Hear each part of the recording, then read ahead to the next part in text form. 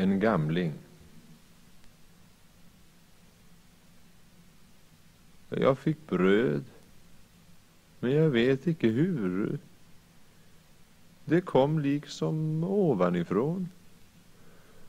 Och jag byggde av otäljd furu ett pörte vid Savonaån.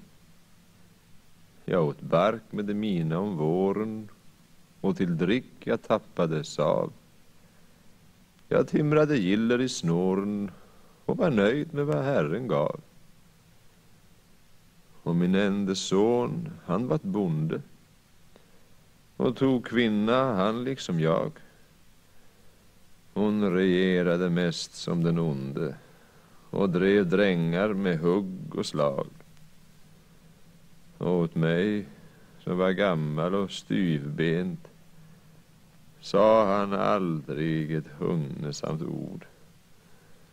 Fast jag timrat det hus han fått äga, fast jag röjt varje tum av hans jord.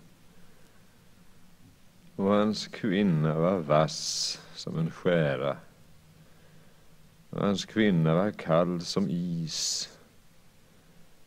Och hans kvinna var tröttsam att svära. Vart min ålders ris. Och en dag stod en kärra på backen med en hösäck och bräde för två.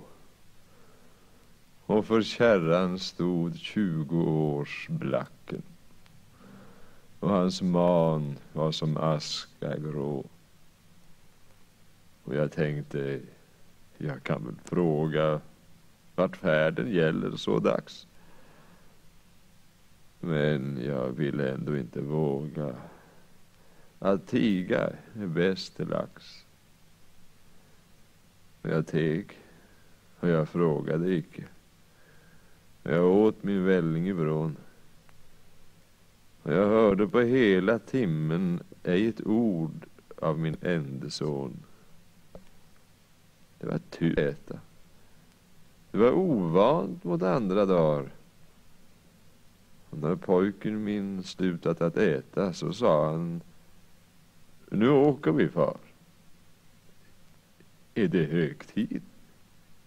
Ska gamlingen åka? Är det andra tider igen? Men vill inte fråga och bråka. En får veta, får veta sen. Vi stannade här. Jag är gammal.